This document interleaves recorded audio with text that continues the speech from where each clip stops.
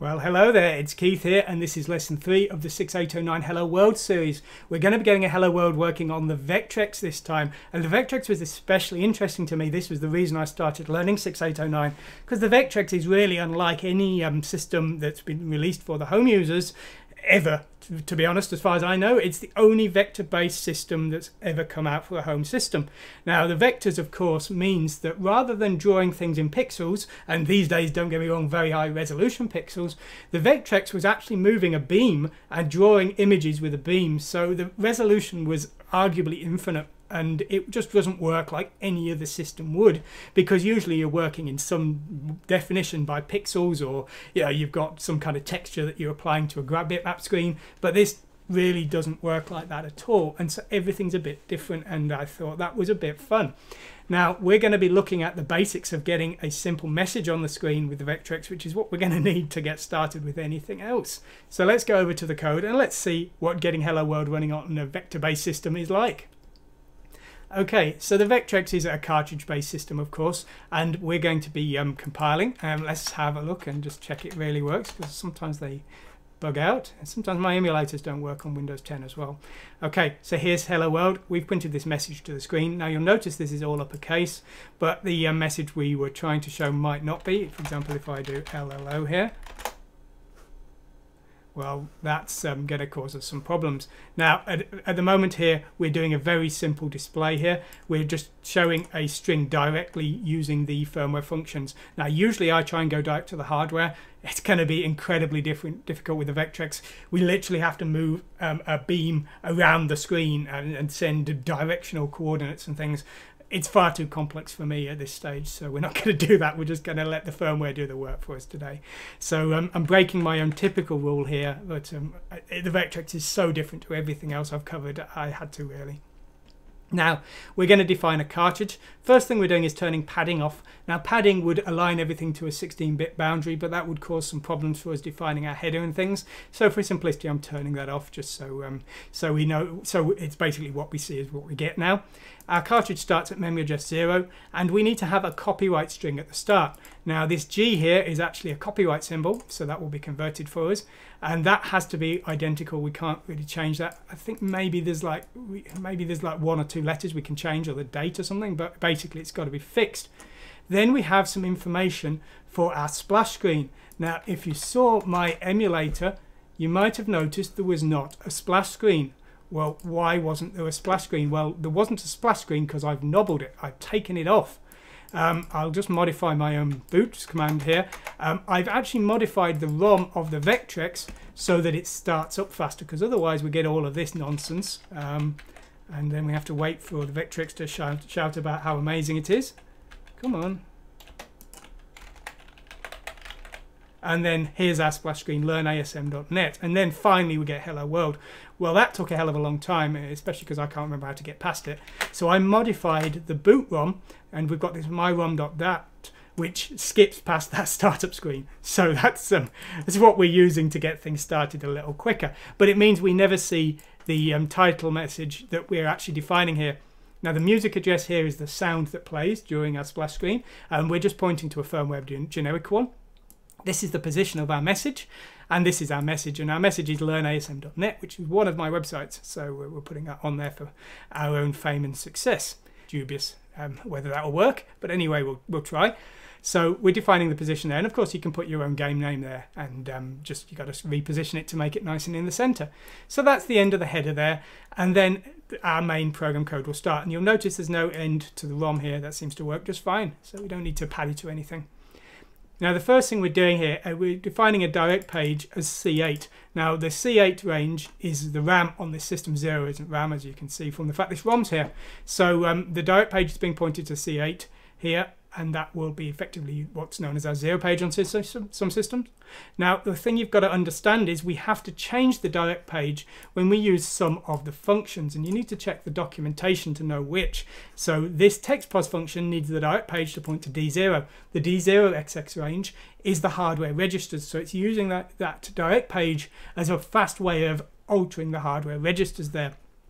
Now I've set it to RAM here just because that's what I'd expect a system to start with, but you can see we're pretty much immediately changing it to D0. But again, as I say, just for just for you if you're modifying things and trying to play with stuff yourself so that you know what's going on. I thought we'd start off with a normal way of doing things. Now, the function we're using to draw text to the screen is a multi-line one at F38C here. We pass this a, address in the U register, the user stack as it's known, and then we will show that to the screen. So that's showing that to the screen for us. And we just got to make sure that the direct page is pointing to D0 here. Now, the string is in a weird format. We have an X, a Y position, a string. The string is hexadecimal 80 terminated, and we can have multiple strings within the same same sequence. So if I just copy these lines, but then I take the zero off the first one, but I change the Y position to be 107, and I run again. Well, now you can see we've got hello world twice. So we can use this to show multiple strings and we'll be using that later on. Now there is other commands to show a single string and things, but this I, th I think is the most useful to us and you'll learn why in the next example. Now before we use the text routine here, we need to specify the font size and we're doing that just up here. We're using FC38, which is a small font size. If I just run this here, you can see it's pretty small, but you can use alternate settings here. And another good one is F848. If I run this now, we've got a nice big font. And uh, you can use other settings as well, but those are the two I would recommend you consider. Now, when we print a string to the screen on the Vectrex, that's not enough to keep it on the screen. Because the, the screen will clear as the phosphors fade, we need to draw it again every single frame. So what we're doing here is we're waiting for a new frame to start with F192, and then we're drawing everything again. Now, if I take out that code, if I put the infinite loop here, we're now only drawing a single time to the screen and maybe you saw it, maybe you didn't. It, it, was gone already. So we have to redraw the image over and over again. So that's a bit of a limitation of the Vectrex that we have to repeatedly draw our image every single frame because of the way the Vectrex works. As I say, everything's different on the Vectrex. So there we go. So anyway, that's getting our hello world message to the screen, and that's how we can get the most simple hello world running. Now, how do we compile it? Well, we're using ASW Mac OS here, the source file is percent %1 in this example because this is a batch file, so that would be your hello world.asm or whatever. We're specifying 6809 CPU, and we're specifying to output a listing file, and this is useful for debugging. I was having some awful problems with the direct page the other day because I was using this alternate direct page, and then I was using an STA $80 or something like that, uh, trying to save to the direct page. The assembler was saving in to save to 0080, even though I'd told it with the um, assume command that the direct page should be at C8. Um, I thought it would have worked, but I actually had to specify C8 80, and then it was removing the C8 in the in the compiled binary. Uh, I know that probably sounds very confusing to you if you're just starting out. The point I'm making is um, if you're just starting out, a listing file is possibly not very useful to you. But once you're getting the, to grips with things, and if you're playing with a weird system, uh, these listing files really help you out. So try and export them if your assembler supports it. I'm defining a symbol here, build VTX. My multi-platform code has modules that switch on or off depending on symbols, so that's to allow for that. And then we're outputting a file called prog.build. This isn't a cartridge yet on this assembler. If that works okay, we're then converting that to a binary, which is a cartridge using p2bin. So that's converting the intermediary file to a binary file. That binary file can then be loaded with VecXGL that's our Vectrex emulator here. We're specifying a screen size. That's good if you've got a full HD monitor. If you haven't, it's not going to be good. So you could change that. Maybe we could change that to 600 or something if you've got a, a smaller monitor.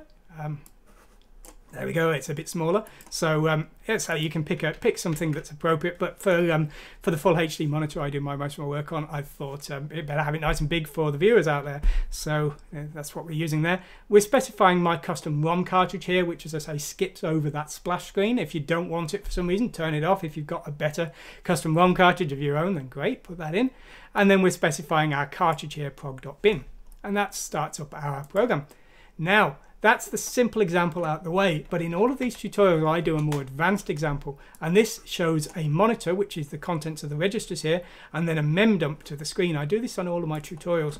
Now, these use a print char routine, and this print char routine needs to print a single character to the screen and now I need a new line routine to start a new line. If I haven't got those the multi-platform monitor will not work. You can see the multi-platform monitors included just here. I don't go into the details of how that works because it's complicated and it's well beyond what we want to do today.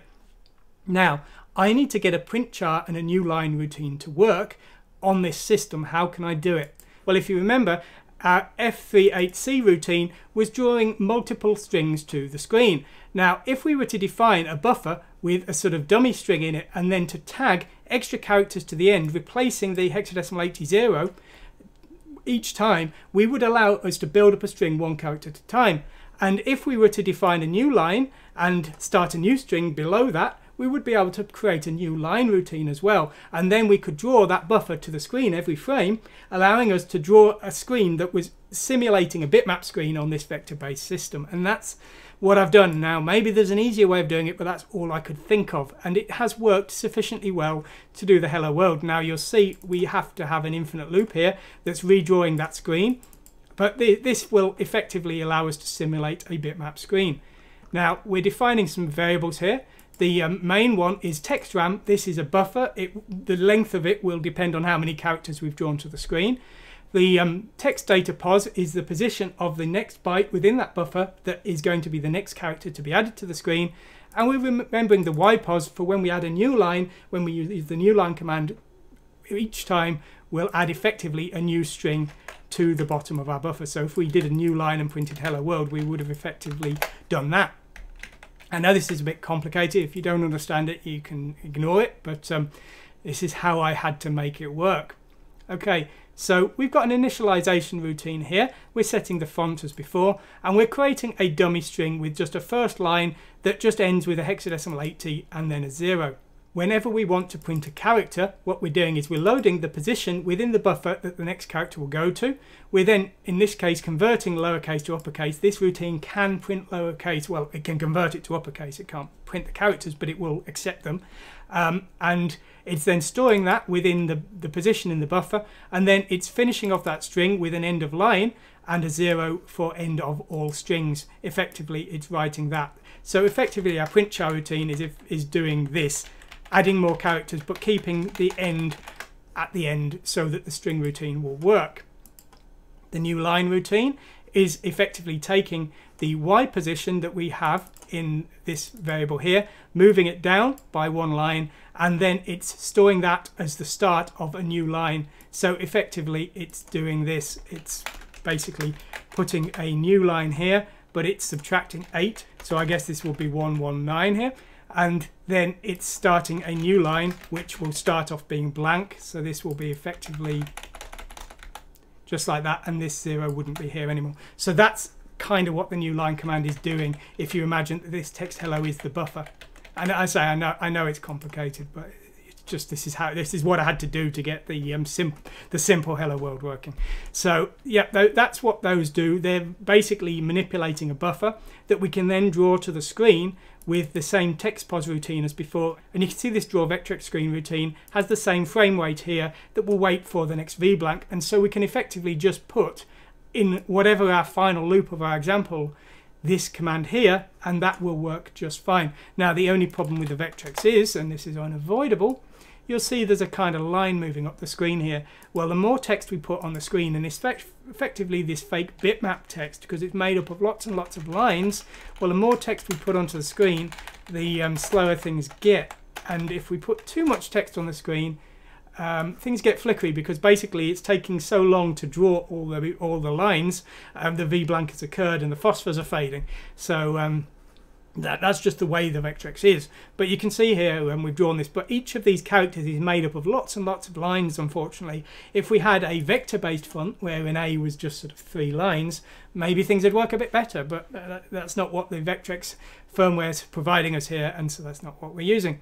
But as I said before, though, this routine, while it can't print lowercase to the screen, it can now take it because we've got that conversion in there. So when I print hello world in lowercase, it's converted to uppercase, but at least it shows, whereas before we were showing garbage. Anyway, that's all we're covering today. Um, we're going to be coming back to the Vectrex later on. We're going to be learning to um, read the joystick, make some sounds, and we're going to draw some vectors to the screen. I have a something resembling my Chibiko character in a vector, so we'll see how to get that onto the screen.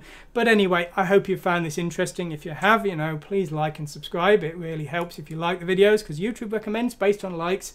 And if you subscribe, it increases my motivation to keep working on writing more and more tutorials for more and more obscure systems that I know nothing about because that takes a lot of time and it's a bit stressful. Anyway, whatever you do, I hope you enjoy the 6809 and I hope you found some interest in the Vectrex because I think it's fascinating. Thanks for watching today and goodbye.